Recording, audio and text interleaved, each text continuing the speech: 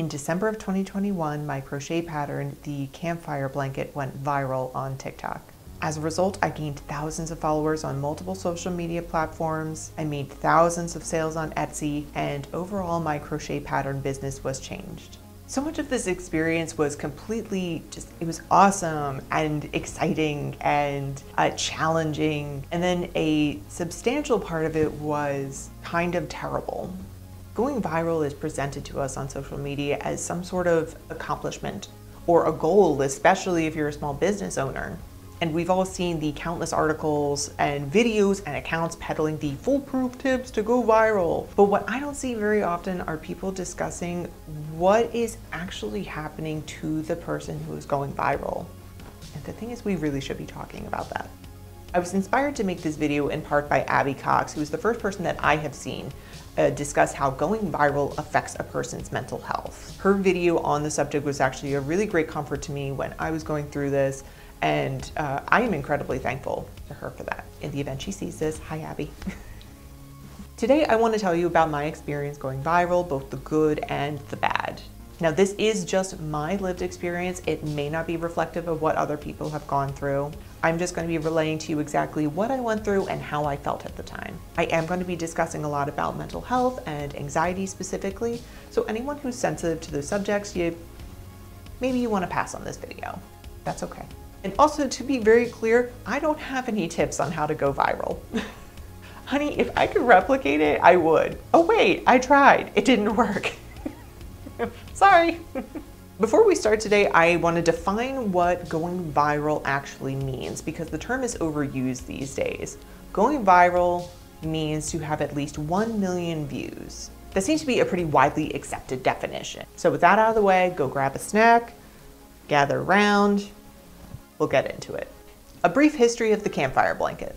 So the crochet pattern in question is the campfire blanket, which is a beginner level pattern. I initially made it in September 2018 when I first learned to crochet and I would make it several times over the next few years. In July of 2021, I decided to finally write up the pattern for the campfire blanket uh, because I really just needed another pattern in my Etsy shop. My shop just looked absolutely so sad, just with two patterns in it. So I thought the campfire blanket would be just fast and easy and I could just get it up. Oh, that's a weird thing to say. I did not mean to say that. I began making the blanket one more time to perfect the pattern and to record it, things like, you know, how much yarn I was using, etc., etc.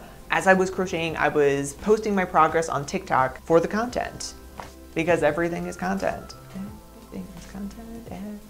How'd that song go? Not like that. It does not go like that. Much to my surprise, my post garnered quite a bit of attention and enthusiasm. Like one of my posts got over 750,000 views, which was a lot, especially considering the size of my platform at the time. I had been on TikTok maybe five months and uh, I had a couple thousand followers and I was only using crochet related hashtags, which I, I still only do. I still only use crochet related hashtags. The campfire pattern launched in my Etsy shop on August 4th, 2021. It was a digital download PDF and that first day I sold 250 copies of the pattern. For perspective, before the launch, I had sold a total of 156 patterns in the entire year before. So like that was pretty cool. From the pattern launch, I did learn some things and I made adjustments to both my product and my shop to better accommodate my customers and myself. I made it so the PDF can be easily read on any viewer no matter what. And I made a whole bunch of save replies to answer the questions that I was getting most frequently. So that took some pressure off of me.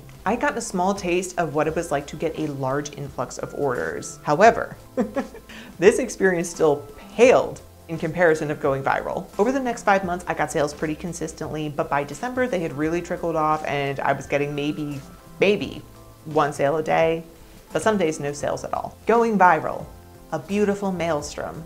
On Saturday, December 18th at 12 p.m., I posted a TikTok that went viral. To date, that video has 1.8 million views, hundreds of comments, and thousands and thousands of likes and shares. It's actually two clips from previous TikToks that I had just edited together in order to get more mileage out of the content I was making. Because making content is really laborious, like it's just so much work. like at the time, I didn't think it was anything revolutionary and I was anticipating that it would flop like many of my other posts. And I didn't pay attention to it after I posted it. Nope. I don't recall when I knew that the post was going viral, but I uh, was tipped off to it when later that day my Etsy sale notifications began going off constantly. Between December 18th and 19th, I sold over 700 copies of the campfire pattern. Over the next week that TikTok continued to gain momentum and reach hundreds of thousands of views. I continued to get tons of Etsy traffic and that first week I wound up selling over 1300 copies of the campfire pattern. And things really didn't begin to slow down until a month later in January.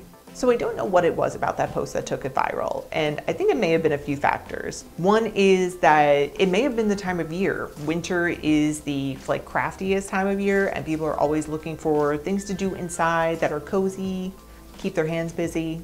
Also, I said in the post how the campfire blanket is beginner friendly and how people had told me that they learned to crochet with that blanket, which made it a bit more accessible to folks who have never crocheted before.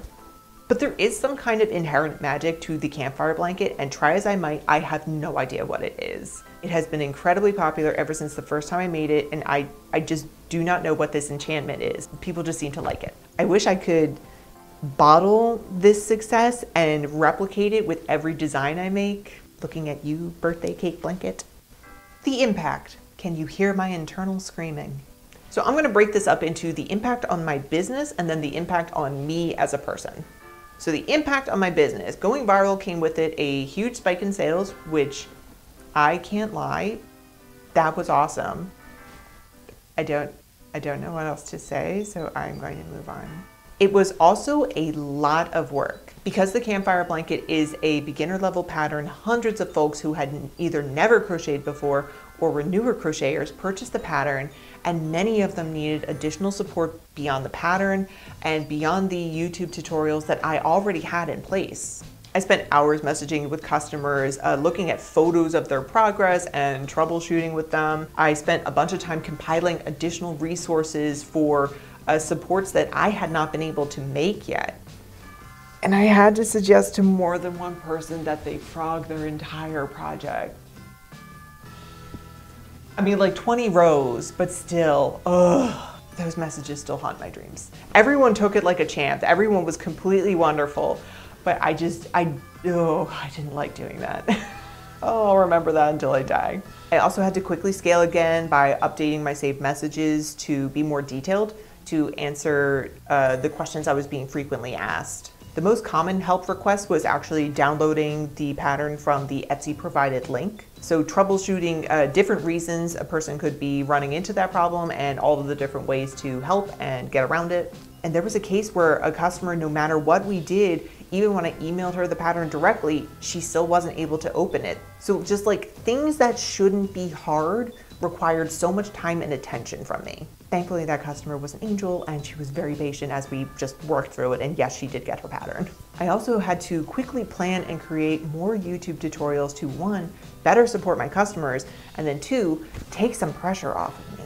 Also, just a note, I was not part of the TikTok creator program at the time of my viral video. Uh, I had heard so many conflicting things about it that it just didn't quite seem like the right fit for me. So TikTok never paid me any money for that viral post. Uh, uh, only I've only earned money from Etsy sales. I don't know if I'll regret that someday. Ugh. The impact on me. I was overjoyed, ecstatic, euphoric, thrilled, jubilant, blissful, delirious, rapturous, happy as a clam, pack-a-hoop. What? Huh. Okay. I was elated that my art resonated with so many people. I felt validated after years of working so hard, uh, not just on my crochet business, but uh, for the decade before as an artist trying to get an illustration career going. For years, I had sacrificed time and experiences with my loved ones, choosing to work on my art and business and not getting anywhere. I would put everyone including and especially myself on the back burner in hopes of getting an illustration career going. And it caused me to feel isolated and distressed and hopeless. Going viral felt like I was finally being recognized and compensated for my years of work. I had finally tasted just a bit of success, and it tasted like chocolate cake with buttercream icing being fed to me by Channing Tatum. What? Did I say that out loud? I don't take it back. Now, on the flip side of all of those good feelings, I became incredibly anxious. I was in uncharted waters and I did not know what to expect, and I was terrified that something awful was going to happen. Physically, my heart rate was elevated, I was clenching my jaw, and my chest felt like I was just being squeezed by a giant python all the time. For a solid week, I was on edge. I could I wasn't sleeping well and I could not relax.